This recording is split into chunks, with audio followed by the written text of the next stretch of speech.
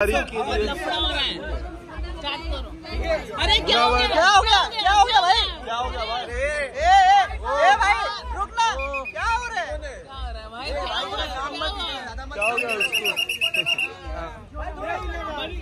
मुनावर सबसे पहले कॉन्ग्रेचुलेशन गाने के लिए काफ़ी अच्छा। थोड़ा सा मुनावर सर थोड़ा पीछे हो जाइए। काफ़ी अच्छी शुरुआत मिली है गाने को अगर कुछ बताना चाहो किस तरह से। मदारी एक अलग ही वर्ड है मदारी। मदारी अलग बचपन से सुना है यार हाँ रे तेरे फ्रेम में। बट मदारी वही है करतब दिखाता है। पता नहीं है उसको मोहल्ले में कौन देख रहा है सभी देख रहे हैं बच्चा हो बूढ़ा हो। तो ये एल्बम भी वैसी है हर तरह का गाना है इस एल्बम में। और पिछले छः महीने से इस पे ही ग्राइंड चालू था। और अभी वो आज फाइनली रिलीज़ हुआ है और मैं थोड़ा ऑनलाइन ऑडियंस का रिस्पांस जो देख रहा था मैं थोड़ा रो दिया थोड़ा हंस दिया। तो मुझे बहुत खुशी हो रही थी और फिर मैंने देखना बंद कर दिया Yes. कि नहीं आज पार्टी में ध्यान देता हूँ लॉन्च पे ध्यान देता हूँ आज जो यहाँ पे आए हुए हैं, और जितने भी लोग आए हुए तो आई एम वेरी हैप्पी कि वो लोग आए हैं। उन्होंने इस काबिल समझा। तो आई एम वेरी हैप्पी तो आज इनसे मिलूँगा और उसके बाद मैं डेफिनेटली देखूँगा क्या चल रहा है रिएक्शन बट अभी तक जो मैंने देखा वो बहुत ही ओवरवेलमिंग है। मुना और मदारी की कॉन्सेप्ट की मैं बात करूँ काफ़ी समय से आप वेट कर रहे थे ये एल्बम के बारे में स्पेशली आज वो दिन आया है तो कितनी अच्छी फीलिंग आती है क्योंकि एक भाई वो बहुत बुरी फीलिंग है भाई। वो विदाई विदाई बच्ची की विदाई होती है वैसी फीलिंग इसका हाथ है।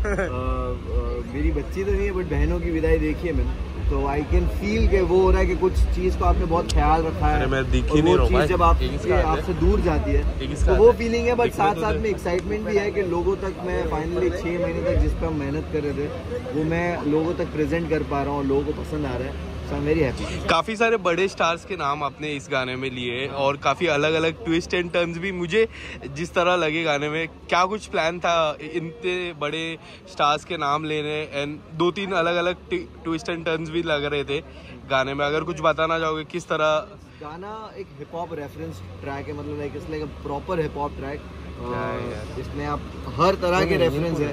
और हमने बॉलीवुड रेफरेंस हो मीम रेफरेंस हो। इंटरनेट पे जो चलता है उसका रेफरेंस हो कुछ बाकी नहीं रखा। एक लाइन में दो दो मीनिंग्स है उसमें। तो आई थिंक वो गाना लिखने में भी बहुत मज़ा आया हमको. मैं और फरहान जब हम लिखने बैठे थे तो इट वॉज़ फन और हाँ उसमें कुछ बाकी नहीं छोड़ा। As a O T T king as a O T T winner Bigg Boss O T T भी बहुत जल्द आने वाला है अगर आप जाने वाले हो। नहीं भाई मैं एक बार वो कर लिया रियलिटी शो तो अभी मैं शायद रियलिटी शो के मूड में नहीं हूँ। बट अभी जैसे ये प्रोजेक्ट रिलीज़ हो गया है अभी और जैसे इस एल्बम में किस तरह एक्सप्लोर करने वाले बोला है कि इस साल सबसे बड़ा वाला स्टैंड अप वीडियो लाऊँगा। Yes.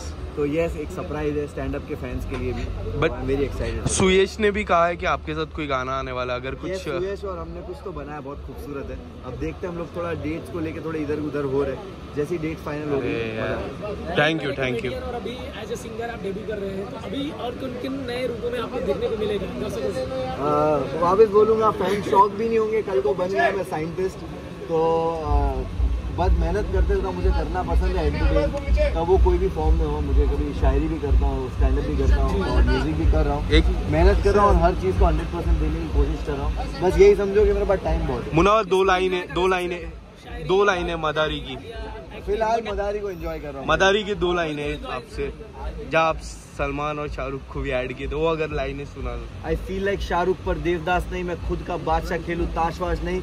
तेरे जैसे का देगा मैं डेढ़ सौ रुपया हूँ मैं कचरा सेट करूँ भेदभाव में। थैंक यू मेरे दिल में दया पर मैं जेठा नहीं लूटू सबको पर मैं नेता नहीं। Thank you so much thank you so much